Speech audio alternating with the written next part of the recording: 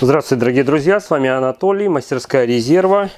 А, сегодня у меня новая станция. Единственное, что, ой, времени очень ограничен, поэтому прям так красиво рассказывать не смогу. То есть пробегусь по-быстрому, расскажу про станцию, что-то, технические моменты, посмотрю, ну, характеристики, а, возможно, что-то на сайте подсмотрю. А, это генератор у нас Энерго, соответственно, на сайте Энерго посмотрю, сделан он, собран с двигателем Yamaha, то есть они разные бывают э, в плане, что не только Yamaha, по-моему, Subaru, еще на чем-то. Вот такая станция. Станция это у нас 12, там почти 12,8 киловатт. Вот так она со всех сторон выглядит. А, станция, ну, опять же, по моим таким ощущениям, а, Энерго тут руку мало очень приложил, ну в плане, возможно, раму собрали и, и, и добавили шланг. В остальном а, заводской какой-то покупной бак, двигатель отдельно, альтернатор отдельно. Электрическая часть именно альтернатора с двигателем вообще никак не связана. Вот. Единственное, что сейчас мы опять-таки подошел отлично наш кронштейн, а, исполнительное устройство под сервопривод KP1, есть отдельные видеообзоры на него. Вот оно теперь только, скажем так, с двигателем связано и с альтернатором. В остальном, в принципе, станция три отдельные части. Рама с баком, а, двигатель, альтернатор. Все. А, двигатель у нас здесь, как уже сказал, Yamaha EH72 модель. А, это двухцилиндровый V-образник. Вот у нас здесь видим отдельно масляный фильтр, масляный охладитель. Есть навесной насос а, топливный, как я не понял, типа, наверное, вакуумный, что-то такое. Ну, ключ только оба органы управления запускать. И, а, ну, здесь же под крышкой еще у нас воздушный фильтр Фильтр почему-то вот мне до боли знакомый показался. Очень похожие у этих мне попадались. У СДМОшек газовых. Ну, я СДМОшки в основном только газовые. Знаю. Ну, здесь еще отдельно кронштейн сервопривод наш. Потому что здесь ручная заслонка воздушная. Ну, сейчас, соответственно, у нас сервопривод эту заслонку управляет. Что еще, что еще? Ну, бак, как уже сказал, тоже штатный. С этим, вернее, не штатный, в плане заводской, не индивидуальное изготовление. Тут стаканчик, уровнемер, снизу кран, шланг идет, соответственно, туда. Выхлоп достаточно интересно расположен. Ну, в плане для меня интересно, что он выходит вниз, не наверх, а вниз. Еще и загнут. Соответственно, здесь придется ну, откручивать, если выхлоп куда-то подготавливать, выводить.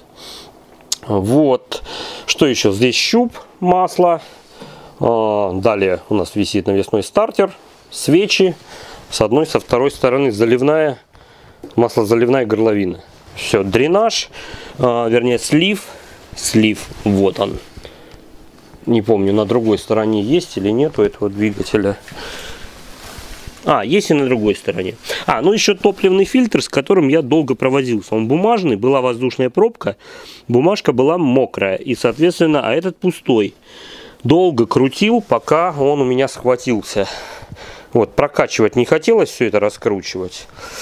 Так, это что мы пока визуально все видим. А, далее у нас 45-очка бак. Единственное, что он с узкими клеммами и и а, не сразу заметил, в комплекте они еще вложили такие переходники. Ну не переходники, втулочки свинцовые. Вот, сейчас, в принципе, могу накинуть для запуска. Вот, потому что, то есть это были отдельно в пакетике. Не сразу нашел, думал, как подключать. Так, что у нас далее? Альтернатор. Альтернатор линз э, интересный, ну, во всяком случае, для меня интересный, первый раз такой видел, вольтметр светодиодный такой. Далее, здесь крышка, двухполюсный автомат. В данном случае он,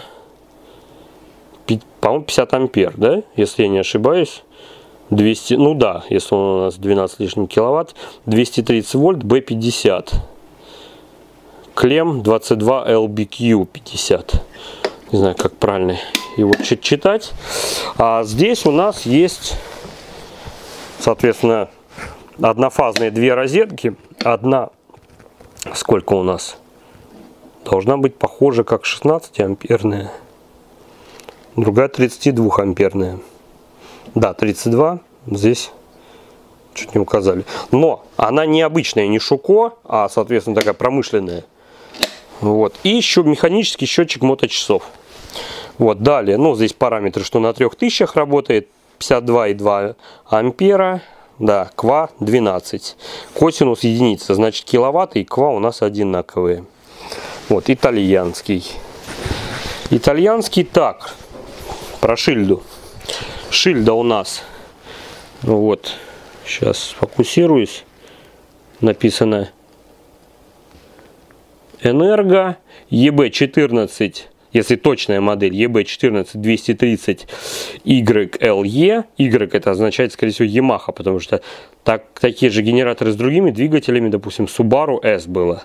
12,8 при косинусе единицы, значит, ква киловатты у нас одинаковые 230, 55,6 указали ампер, частота 50 герц, масса 130 килограмм. 130 килограмм. Тут бьется. А вот если зайти на сайт, на сайт к ним, так, энерго, энерго. Максимальная мощность записали 1024. Вот, бензиновый генератор энерго EB14 230 YLE. Ну, а, сейчас стоит у них на сайте 267 тысяч, кстати. А, 1024, максимально 11,2. Почему там 12.8 записано? Вернее, или почему здесь так записано? Так, электростартер, ручной запуск, 3,8 литров в час при 75% нагрузке. Бак 26 литров. Открытие, открытое, так, исполнение открытое, уровень шума 130 децибел. Ну, 130 децибел, что-то как-то много махнули. Хотя, может быть, станции буквально, хотя, блин, вот эти все идут в районе, ну, где-то до 90 децибел. Что-то 130 достаточно шумная. Хотя она действительно шумная. Вот, что у нас еще?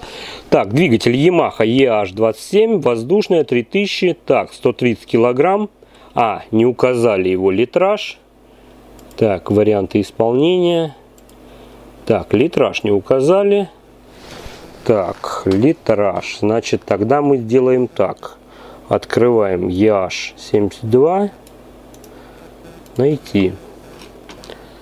Так. Yamaha. Так. Видите?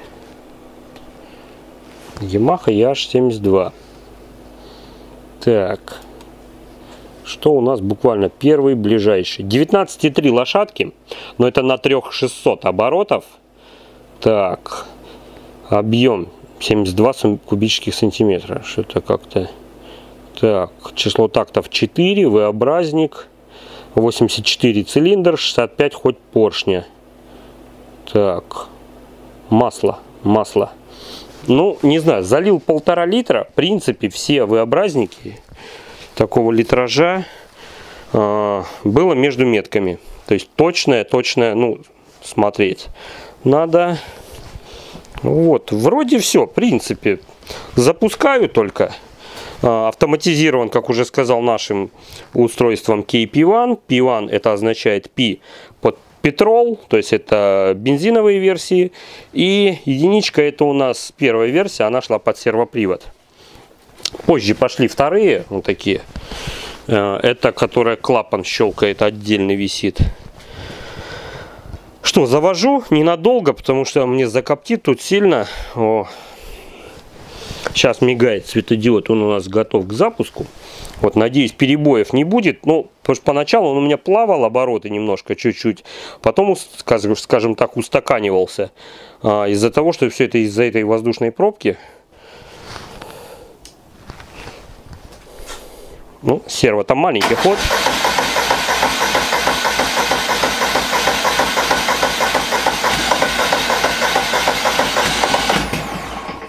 Ну, первая неудачная попытка. Он у меня постоял пару дней. Еще раз.